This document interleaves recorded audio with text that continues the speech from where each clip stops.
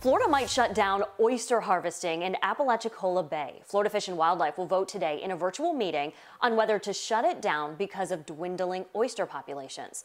This area historically produced 90% of the state's oysters and 10% of the nation's.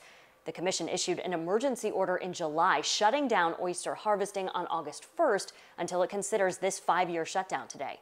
We're going to let you know what's decided.